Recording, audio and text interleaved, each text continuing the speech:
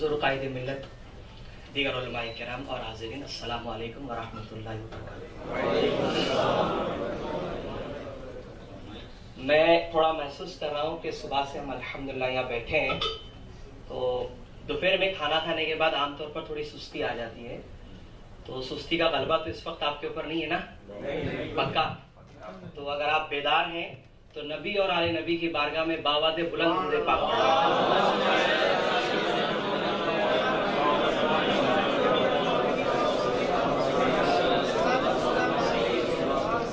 بسم اللہ الرحمن الرحیم الحمد للہ رب العالمین.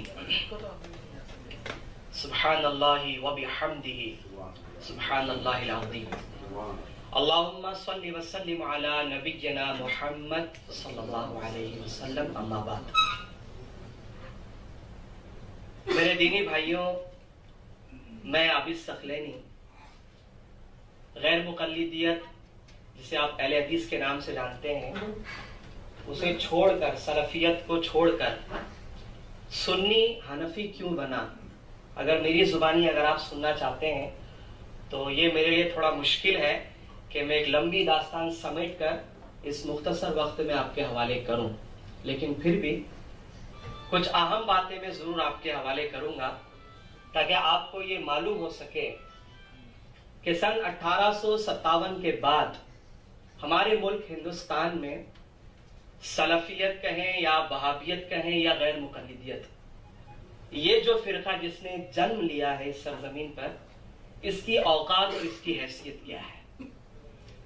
لیکن ہاں یہ میں پوری ذمہ داری کے ساتھ کہہ سکتا ہوں کہ آج ہمارے درمیان یا ہمارے آس پاس جو لوگ اہل حدیث کے نام سے جانے جا رہے ہیں اصل میں یہ سب کے سب نا اہل حدیث ہیں۔ یہ کوئی اہل حدیث نہیں ہے۔ سب کے سب جو ہے وہ نا اہل حدیث ہیں۔ اور ان کی پوری جماعت خاص طور پر میں بر صغیر کی بات کرتا ہوں سب کے سب بغض ابو حنیفہ کے شکار ہیں۔ امام اعظم ابو حنیفہ کے خلاف لکھنا ان کے خلاف بولنا اور خاص طور پر حنفیوں کو تنقید کا نشانہ بنانا یہ ان کا ایک پسندیدہ کھیل ہے اور جو کئی سالوں سے یہ کرتے چلے آ رہے ہیں۔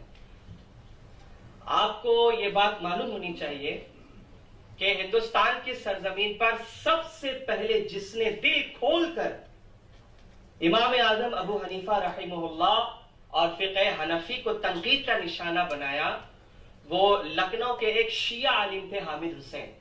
یہ وہ پہلے آدمی ہیں جنہوں نے دل کھول کر حنفیت کے خلاف زہر اگلا اور کتابیں لکھی بعد میں غیر مقلدین نے اسی شیعہ عالم کی کتاب سے مسائل چرا چرا کر دوسری کتابیں لکھ کر امت میں فساد برپا کیا۔ آپ مسائل تقریر پڑھ لیں۔ حقیقت الفق پڑھ لیں، جرا ابی حنیفہ پڑھ لیں، سب میں وہی مسائل ملیں گے جو اس حامد حسین لکھنؤ کے شیعہ نے اپنی کتاب میں جمع کیا ہے۔ ان کی اپنی کوئی تحقیق، اپنا کوئی ان کا ریسرچ نہیں ہے۔ بس وہیں سے چرائے ہیں اور امت میں آج بھی جو ہوئے سپلائی کیا جا رہا ہے۔ اور آپ کو یہ بات جان کر بڑی تعجب ہوگا کہ انہوں نے اپنی ان کتابوں کے اندر حنفیوں کو جہاں یہ کافر مشرق بدتی اور نہ جانے کیا کیا بولتے ہیں؟ یہ تو بولتے ہیں یہ حنفیوں کے خلاف، مقلدوں کے لیے۔ لیکن جامعہ سلفیہ بنارس کا شیخ الحدیث رئیس احمد ندوی، نام یاد رکھیے گا۔ جامعہ سلفیہ بنارس کا شیخ الحدیث رئیس احمد ندوی نے ایک نہیں بلکہ چار جلدوں میں اللمحات کتاب لکھ کر امام اعظم ابو حنیفہ رحمہ اللہ کو کافر اور مشرق تک مادہ تو کتاب آج بھی ملتی ہے، اس کو چھاپتے ہیں۔ کہیں مل جائے تو اس کو پڑھ لیجیے گا۔ چار جلدوں میں سفے کالے کر کے اپنی آخرت برباد کر اللہ مہات اور یہ وہی رئیس احمد ندوی ہے جس نے اپنی کتاب تنویر الافاق فی مسئلہ طلاق میں امیر المومنین حضرت عمر رضی اللہ تعالیٰ عنہ کے بارے میں کہا کہ حضرت عمر تو موٹے موٹے مسائل میں غلطیاں جامعہ سلفیہ بنارس کا شیخ الحدیث امیر المومنین کی آنکھوں میں آگ ڈال کر یہ دعویٰ کر رہے ہیں کہ آپ بڑے بڑے مسائل میں غلطیاں کرنے والے ہیں، تو یہ فرقہ اور اس سے بابستہ افراد کتنے خطرناک قسم کے لوگوں گے؟ یہ علمہات وہ کتاب ہے جو خاص میرے مطالعے میں تھی، میں بڑے شوق سے پڑھتا تھا، کیونکہ جامعہ سلفیہ سے چھپ کر آتی تھی اور زیادہ ملتی نہیں تھی، لیکن میں نے خرید کر رکھی، بڑے شوق سے میں نے اس کو مطالعہ کیا۔ اگر اللہ رب العالمین کا فرض اور اس کی توفیق میرے ساتھ شامل حال نہ ہوتی، تو اس کتاب میں جتنی باتیں لکھی ہے اس کو سب میں سچ مان لیتا۔ اللہ رب العالمین خطائیں معاف کرے خطیب بغدادی کی۔ انتہائی کمزور اور مجہول اور تعصب میں مبتلا راویوں سے جو باتیں امام ابو حنیفہ کے خلاف آئی ہیں، سب کو اٹھا کر انہوں نے اپنی کتاب میں جمع کر دیا۔ اب اسی تاریخ بغداد کی جلد نمبر تیرہ سے جب بھی کوئی سعودی جاتا ہے وہاں بھی کھجور اور پانی لائے یا نہ لائے عمرہ کر کے یہ جلد جو ہے تاریخ بغداد کی تیرہ نمبر کی بغداد کی اٹھا کے ضرور لے کر آتا ہے۔ خطیب بغدادی کی تاریخ بغداد جلد تیرہ۔ اسی میں سے مسائل نکال نکال کر وہ امت کے اندر فتنہ و فساد پھیلاتے ہیں۔ اللہ رب العالمین جزائے خیر عطا فرمائے۔ امام زاہد القوسی رحمہ اللہ کو انہوں نے اس کا جو ہے وہ بھرپور جائزہ لیا اور تانب الخطیب لکھ کر جو ہے ان تمام اعتراضات کی حقیقت واضح کر دی اور یہ ثابت کر دیا کہ خطیب بغدادی سے بہت بڑی غلطی ہوئی ہے۔ جتنی باتیں امام ابو حنیفہ کے خلاف انہوں نے کتاب میں جمع کی ہے، اس کی کوئی اوقات اور حیثیت نہیں۔ یہ علامہ زاہد القوسی رحمۃ اللہ علیہ نے یہ ایک بڑا بہترین کام کیا ہے۔ طالب الخطیب آج بھی دستیاب ہے جو عربی جانتے ہیں، اس کو خاص لے کر پڑھیں۔ اور اردو میں بھی بہرحال اس کا ترجمہ ہو چکا ہے، مارکیٹ میں دستیاب ہے۔ آپ اس کا ضرور مطالعہ کیا کریں۔ میرے بھائیوں، خاص طور پر میں جو چیزیں ہیں، وہ آپ کے سامنے یہ رکھنا چاہتا ہوں کہ جب میں سن دو ہزار میں سلفیت میں ایک دائی کی حیثیت سے جب میں وہاں پر تعارف ہوا لوگوں کے درمیان، تو کچھ کتابیں جو میں بہت شوق سے پڑھتا تھا، اس میں ایک کتاب تھی نتائج تقلید یہ آج بھی ملتی ہے۔ اس کتاب میں تاریخ بغداد ہی کے حوالے سے ایک بہت مشہور محدث ہیں حضرت یزید بن صلی اللہ تعالی علیہ وسلم۔ بہت مشہور محدث ہیں، صحیح بخاری اور دیگر حدیث کی کتابوں میں ان سے روایت آئی ہے۔ یزید بن ہارون رحمہ اللہ۔ اللہ تعالیٰ جزائے خیر عطا فرمائے۔ ان سے ایک روایت اس میں نقل ہے اور اس غیر مقلد عالم نے چالاکی یہ کی کہ روایت نقل کرنے کے بعد آگے بریکٹ میں لکھ دیا کہ روایت صحیح ہے۔ اب وہ روایت کیا اس کو آپ سنیے اور اس کی حقیقت کو جانیے۔ اس میں لکھا ہوا ہے کہ حضرت یزید بن ہارون رحمت اللہ علیہ فرماتے ہیں کہ میرے نزدیک جتنے حنفی ہیں وہ سب کے سب عیسائیوں کی طرح ہیں۔ اب چونکہ اس سے حنفیوں کی پوزیشن ڈاؤن ہوتی ہے، توہین ہوتی ہے، تو اس غیر مقلد عالم نے بڑی چالاکی کے ساتھ بریکٹ میں لکھ دیا کہ روایت بالکل صحیح سرحد کے ساتھ موجود ہے۔ حالانکہ تعجب ہوگا آپ کو یہ جان کر کہ یہ روایت جو خطیب بغدادی لے کر آئے ہیں، اس میں ایک راوی ہے ایوب بن شاز۔ اب یہ کون ہے؟ کہاں کا رہنے والا ہے؟ اس کا کوئی عطا پتا اسبا الرجال کی مستند کتابوں میں پایا ہی نہیں جاتا۔ ایک دم مجھول آدمی ہے۔ اور دوسری بات، یزید بن ہارون رحمت اللہ علیہ کا انتقال دو سو چھ میں ہو رہا ہے اور خطیب بغدادی کا چار سو ترسٹھ میں۔ بیچ میں کم سے کم دو سو ستاون سال کا فاصلہ ہے۔ سلسلے سنت پوری کی پوری ٹوٹی ہوئی غائب ہے۔ اس کے باوجود بھی صرف حنفیوں کو دھوکہ دینے کے لیے، امت میں فساد برپا کرنے کے لیے اس غیر مقلد عالم نے لکھ دیا کہ ہاں یہ حدیث جو ہے، یہ روایت بالکل سنتن صحیح ہے۔ آپ اندازہ لگا سکتے ہیں کہ یہ بغض ابو حنیفہ میں اتنے گرے ہوئے ہیں کہ ایک سنتن کمزور اور گری ہوئی روایت جس کی کوئی حیثیت نہیں ہے، اس کو صحیح بول کر امت کے سامنے پیش کیا جا رہا ہے۔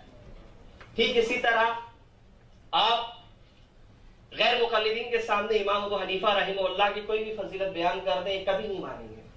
آپ بولیے امام صاحب رحمۃ اللہ تعالیٰ علیہ تابعی ہیں یہ فوراً انکار کر دیں گے نہیں تابعی نہیں ہے آج کے جتنے بھی سعودیہ ریٹرن سلفی ہیں یہ بھلے امام صاحب رحمت اللہ علیہ کو تابعی نہ مانے لیکن سلف صالحین کی ایک بڑی تعداد ہے جو امام صاحب کو تابعی مان رہی ہے۔ اب وہ حافظ ابن حجر اسکلانی ہو جلال الدین سیوتی شافعی ہو اب انہی کے لاڈلے اور چہیتے مفسر ابن کثیر بھی مان رہے ہیں کہ وہ تابعی مسلم ہے کوئی بھی فضیلت آپ پیش کر دیں، یہ فوراً انکار کرتے ہیں۔ حالانکہ امام صاحب رحمت اللہ علیہ کا تابعی ہونا بالکل سورج کی روشنی کی طرح روشن چیز ہے۔ اس کا انکار نہیں کیا جا سکتا۔ میرے بھائیوں، بہت سی کتابیں ہیں جس کا میں نے مطالعہ کیا تھا اس وقت، لیکن جب اللہ کی رحمت اور اس کے فضل سے جب میں نے حقیقت کو جاننے کے لیے دوبارہ پڑھا تو کئی چیزیں میرے سامنے آئی مجھے یاد ہے حقیقت الفر مولوی یوسف جے پوری کی لکھی ہوئی کتاب۔ سب سے پہلے مجھے دی گئی، کہا کہ اس کو آپ پڑھیے، یہ پڑھیں گے تو آپ کو معلوم پڑے گا حنفی مسلک کی حیثیت کیا ہے۔ میں نے بڑے شوق سے اس کو پڑھا۔ اب میں اس کتاب سے اتنا متاثر ہوا، میں کہتا ہوں کم سے کم چار سے پانچ لوگوں کو کتابیں خود میں نے خرید کر دی کہ اس کو پڑھو۔ یہ ہے حنفی مسئلہ جس میں جو بیان کیا گیا ہے۔ اب لوگوں نے بھی بڑے شوق سے پڑھا، میں نے بھی شوق سے پڑھا۔ میں تو یہی سوال کرتا ہوں، اللہ سے یا اللہ، جس طرح میرا، میرے لیے تو نے ہدایت کے دروازے کھول دے، کھولے ہیں، اسی طرح ان کے لیے بھی کھول دے۔ مولوی یوسف جے پوری نے بڑی عجیب و غریب بات اپنی کتاب میں لکھی ہے۔ سیڈنگ اس کے اندر ڈالا ہوا ہے اور اس میں لکھا ہوا ہے کہ اہل کوفہ کی حدیث میں نور نہیں ہوتا۔ یہ اس نے سائڈنگ دی اور آپ کو جان کر یہ تعجب ہوگا کہ پوری سیاستہ میں کوفی راویوں نے اپنا ڈیرا جما کے رکھا ہے۔ صرف بخاری اٹھائیے، ایک طرف بخاری رکھیے، راوی پڑھتے چلے جائیے، ہم بتائیں گے کہ کوفہ کا آدمی تھا کہ نہیں تھا۔ میزان اعتدال ہم لے کر بیٹھیں گے، تم بخاری لے کر بیٹھو، ایک ایک راوی پڑھتے چلے جاؤ، ہم بتائیں گے کہ امام زہبی نے بولا ہے کہ وہ کوفی کوفہ کا ہے۔ کل ملا کر کم سے کم میں سمجھتا ہوں صرف صحیح بخاری میں اگر آپ کاؤنٹ کرتے چلے جائیں تو تین سو کے قریب کوفہ والے اسی بخاری کے اندر بیٹھے ہوئے ہیں۔ اب مسلم کو الگ پڑھ لیجیے ترمیزی الگ پڑھ لیجیے کہیں بھی چلے جائیے کوفیوں سے چھٹکارا نہیں ملے گا کسی کو۔ سارے کوفیوں نے اس پر ڈیرا جمایا ہے لیکن یہ غیر مقلد عالم امت کو دھوکہ دینے کے لیے کہہ رہے ہیں کہ اہل کوفہ کی حدیث میں کوئی نور نہیں ہوتا۔ تو ہم کہتے ہیں بھیا امیر المومنین امیر المومنین فی الحدیث، امام بخاری رحمت اللہ تعالیٰ علیہ کو آخر کیا ضرورت تھی کہ ایسے بے نور لوگوں کی روایتیں اپنی کتاب کے اندر انہوں نے جمع کر دی؟ اسی طرح ایک جملہ اس نے بڑا عجیب لکھا، میں سمجھتا ہوں کہ شاید اس کا دھوکہ زیادہ چل نہیں پایا۔ سائڈنگ میں لکھتا ہے کہ حنفی مذہب میں جو ہے، کوئی ولی نہیں ہوتے۔ ہیں حنفیوں کا الحمدللہ ناز ہے آج بھی ناز ہے کہ ہمارے مسلک کے حق ہونے کی سب سے بڑی دلیل یہ ہے کہ ایک بے شمار اولیاء اکرام اللہ کی رحمت سے اسی مسلک میں پائے گئے اور آتے رہیں گے انشاءاللہ۔ ہمیں ناز ہے اس پر ہم فکر کرتے ہیں۔ لیکن چونکہ یہ بات جو ہے اس کو ہضم نہیں ہوئی اس کے لیے اس نے جھوٹ بولنے کے لیے طبقات ابن رجب کے حوالے سے حضرت شیخ عبد القادر زیلانی رحمت اللہ علیہ کا ایک قول نقل کیا۔ یہ ثابت کرنے کے لیے کہ حنفی مذہب میں کوئی ولی نہیں ہوتا۔ اب آپ ایمانداری سے بتائیے، یہ پوری دنیا میں گھوم گھوم کر کہتے ہیں کہ اہل حدیث کے دو اصول عطی اللہ و عطی الرسول ہم صرف قرآن و سنت کے ماننے والے ہیں۔ جس طرح اللہ نے تیسرا ہاتھ نہیں دیا، اس لیے تیسرا کوئی اصول نہیں چلے گا۔ تو ایمانداری سے بتائیے کہ اس کو ثابت کرنے کے لیے چاہیے تھا نا کہ قرآن کی کوئی سری آیت پڑھ کر سنا دیتا۔ کہ بھائی قرآن کی فلاں آیت میں اللہ نے کہا کہ حنفی مذہب میں ولی نہیں ہوتے، بات ختم ہو جاتی۔ اگر قرآن تمہارا ساتھ نہیں دے رہا ہے تو اعلان کر دو کہ ہمارا ساتھ قرآن نہیں دیتا۔ اب باری آئے گی پھر حدیث کی۔ اور پھر ایک صحیح اور سری حدیث پیش کرو، جس میں رسول اللہ صلی اللہ علیہ وسلم نے کہا ہے کہ حنفی مذہب کے اندر کوئی ولی نہیں ہوتے، لیکن بیچارے کو کچھ نہیں ملا۔ ملا بھی تو کیا ملا؟ حنبلی مقلد شیخ عبد القادر جیلانی رحمت اللہ علیہ کا قول۔ اب اس قول میں بھی دھوکا یہ بغیر دھوکے کے چلیں گے نہیں۔ اس میں بھی دھوکا شیخ جیلانی رحمت اللہ تعالی علیہ سے سوال ہوا۔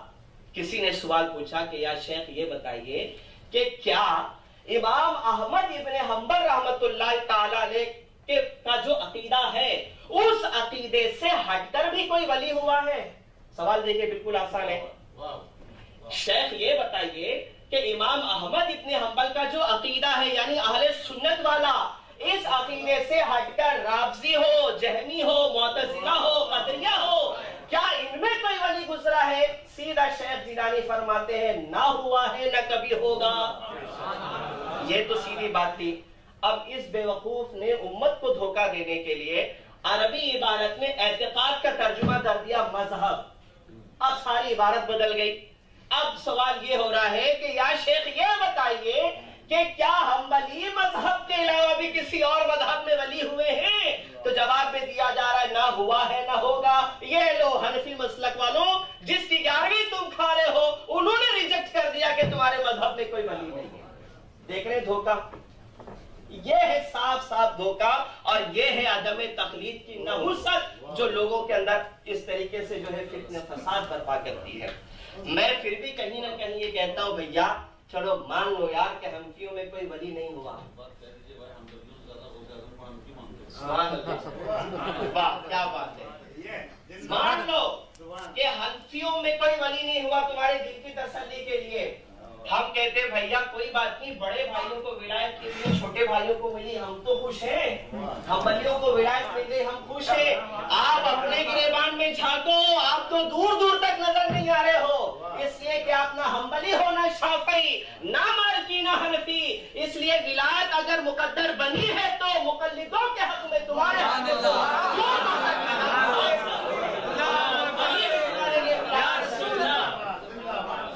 ہم کہتے ہیں یار اپنے گریبانوں میں جھانکو کیوں امت کے اندر فتنے و فساد پھیلاتے ہو؟ پیمفلیٹ چھاپ چھاپ کر کتابیں لکھ لکھ کر امت کو بے بیوقوف بنا رہے ہیں کہ سب سے زیادہ جانکار ہم ہی ہیں، ورنہ یقین رکھیے، ان کے دلوں میں لوگ کہتے ہیں نا دل کے اندر چھپی ہوئی کیفیت اللہ جانتا ہے، بے شک اللہ جانتا ہے، لیکن ان کا عمل بتاتا ہے کہ یہ فساد پھیلانے کی نیت سے کام کرتے ہیں۔ اگر حضرت عمر رضی اللہ تعالی عنہ کا رمضان کے مہینے میں با جماعت تراوی قائم کرنا یہ بدت عمری ہے۔ اور حنفی اس پر اگر عمل کر رہے ہیں اور تمہارے سینوں میں بڑا سنت پر عمل کرنے کا شوق ہے، تو ہم کہتے ہیں، یار بر صغیر کے مسلمانوں کو بخشو، جاؤ سعودی عربیہ اور حرم شریف کے باہر کھڑے رہ کے پیمفلیٹ چھاپو اور بولو کہ یہ جو بیس رکعت حرم میں ہو رہی ہے، یہ عمر کی بدت سے اٹھا کر بند کر دیا ہمت۔ اگر جمعہ کے خطبوں میں خلفہ کا ذکر کرنا اگر بدت ہے یہ تمہارا لاڈلا عبد الرحمن سدیس کا ذرا جمعہ کا خطبہ دیکھ لو۔ یہ ہر جمعہ ابو بکر عمر اور عثمان اور علی کی تعریف کیے بغیر اپنا خطبہ ختم نہیں کرتا اگر یہ بدت ہے تو شریف کو جا کر بولو سدیس کو سمجھاؤ۔ ادان عثمانی اگر حرام ہے حرفیوں کی مسجد میں ناجائز عمل ہو رہا ہے، پہلے یہ حرام کام اللہ کے گھر سے نکال کر باہر ہے۔ اسی میں ہمت نہیں کیوں؟ یہ کریں گے، ان کے سارے زکات بند ہو جائیں گے، سارے فطرے بند ہو جائیں گے۔ اور ایسی لات پڑے گی کہ پلٹ کر بھی جو ہے وہ وہاں پر نہیں آئیں گے۔ میرے بھائی آپ یقین جانیے، یہ امت کا سب سے بدترین فرقہ ہے جو قرآن اور سنت کا لباس اڑ کر امت کو دھوکہ دینے کے لیے آیا ہے۔ اہل قرآن آئے تھے بس بات ختم کر رہا ہوں اپنی میں۔ اہل قرآن آئے تھے، وہ قرآن کو حجت بنا کر آئے، حدیث کا انکار کیا، تب سب نے مل کر اس کا مقابلہ کیا۔ کیوں بھائی؟ حدیث حجت ہے آپ کیسے نہیں کرتے؟ ہیں کیوں نہیں آپ مانتے؟ ہیں اس لیے وہ زیادہ چل نہیں پایا۔